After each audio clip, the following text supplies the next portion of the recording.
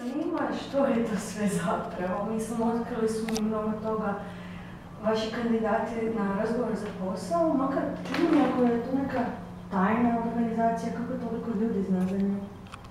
Pa ne bih baš rekla da ih ima jako puno. Pa ima i dosta koji su izvan toga znaju za to što mi je recimo čudno. To su sve naši ili suradnici, bivši, sadašnji ili budući. Mhm, dobro. Dobra novinarka, čini mi se da jeste dosta otkrili.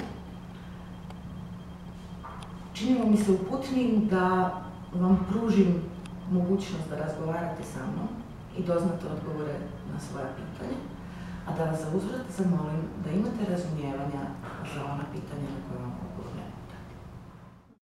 A, što točno oni proučavaju, postoji li to paranormalno, što je to? Za to bi bilo najbolje da kontaktirate sa ljudima iz tog odjela. E, kasnije će vam, netko će joj dati kontakte iz odjela za paranormalno, pa ćete moći s njim razgovarati. Dobro, to bi je eto bilo to.